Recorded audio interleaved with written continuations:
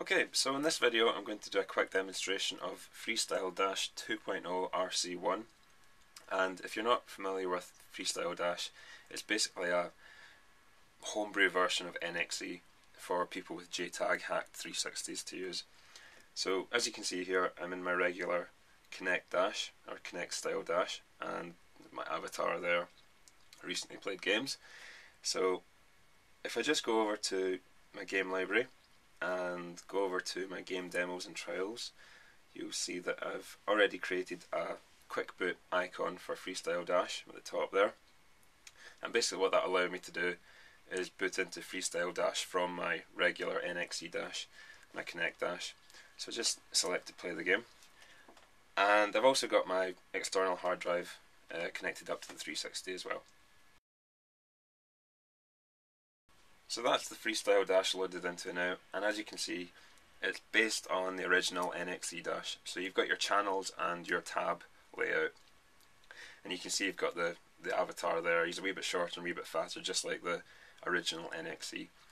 You've also got your tabs. These are slightly different from the original. You've got different options on them. So you've got your Xbox 360 games, your Xbox Live Arcade, Homebrew, Xbox Classics, and emulators. But I'll go over them in a wee bit more detail later in the video. So for now, just do a quick kind of tour of the Dash. So you go up a channel and you've got Xlink, and Xlink is basically like a free version of Xbox Live for people with JTAG hacked 360s. You can go up again and you're going to see there's a plugin channel. At the moment the dashboard's in, it's basically in a beta at the moment so you don't really have any plugins available. But when they are available you'll be able to select them from that channel there. Then you've got the utilities channel, and this is probably the best thing about this dash. And you've got a load of different options. So at the very end here, you've got your credits, obviously, for the Freestyle Dash team.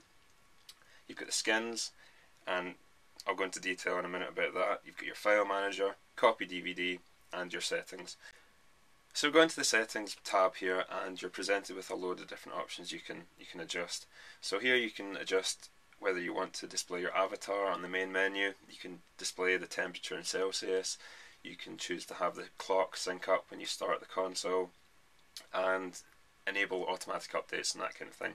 You can check manually for updates like this.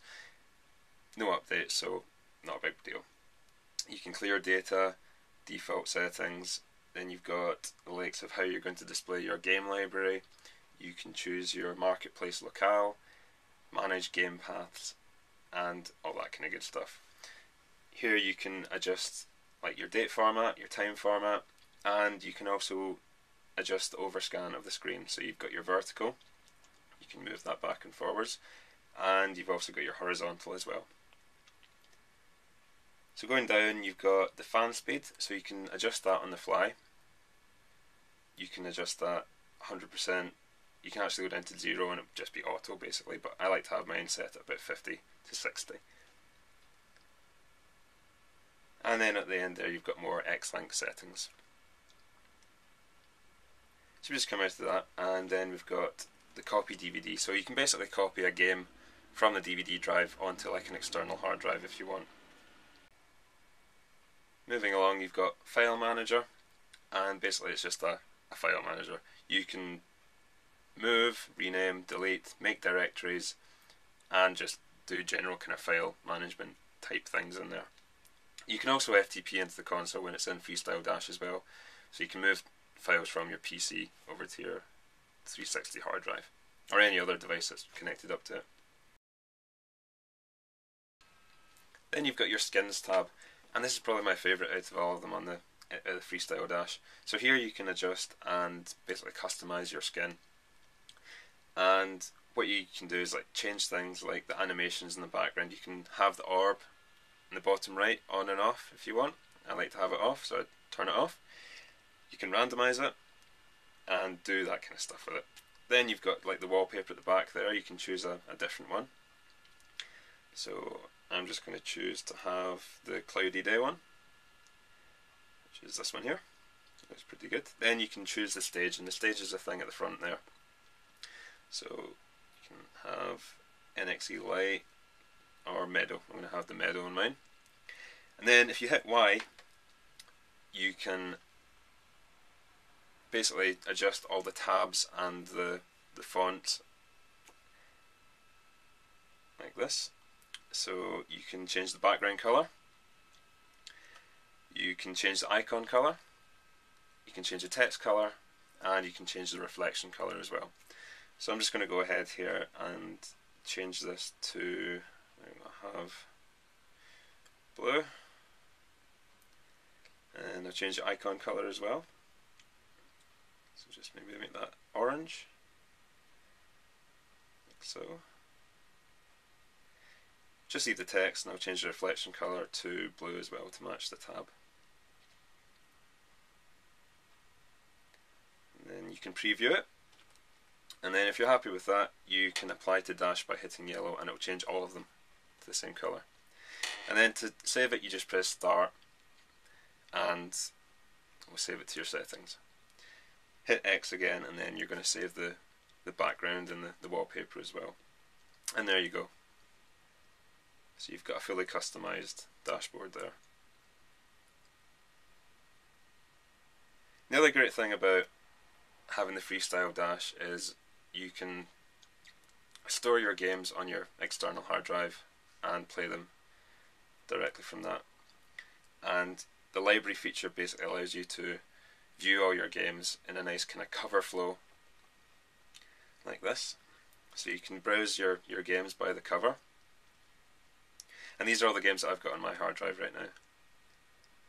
So we'll just go along.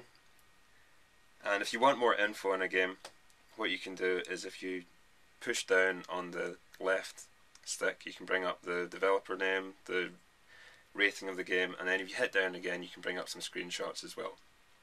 If you want more information than that, you can hit yellow, or hit the, the Y button even, and you can bring up some screenshots, like so, and you can browse the screenshots from the game.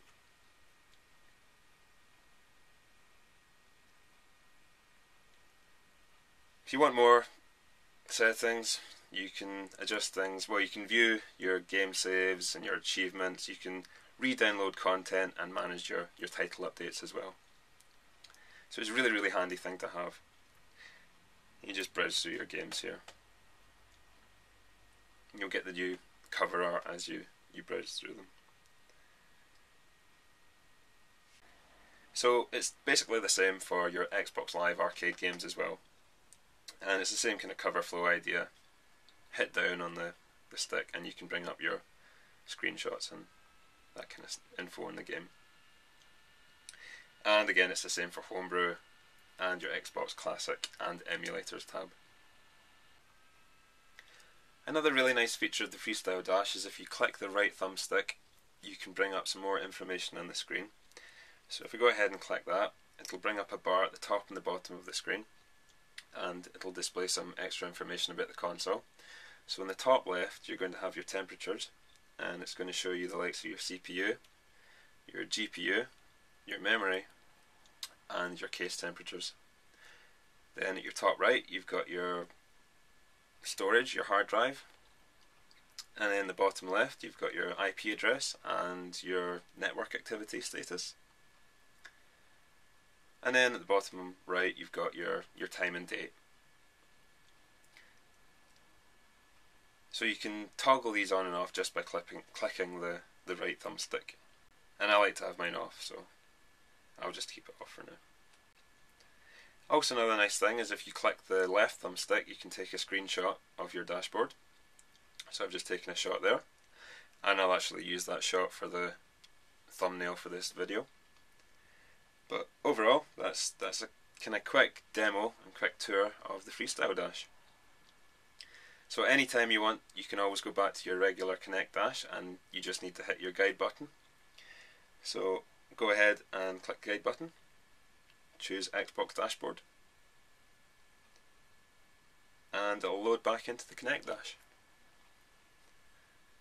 And there you can see I'm back at the regular dashboard with the longer, taller, weirder looking avatar. So, yeah, that's Freestyle Dash. It's only for JTAG hacked 360s, so you need to have a JTAG hacked console for this to work. But, yeah. Thanks for watching, and I'll catch you again soon.